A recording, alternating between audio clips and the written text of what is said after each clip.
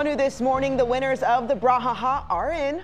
Chesapeake Regional Healthcare hosts this competition every year to get people across Hampton roads crafting for a good cause. Out of the 150 entries, the grand prize winner goes to Wonderland by Dollar Tree.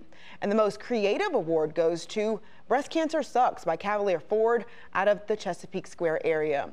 Congratulations to all of the winners and the money raised will help fight against breast cancer.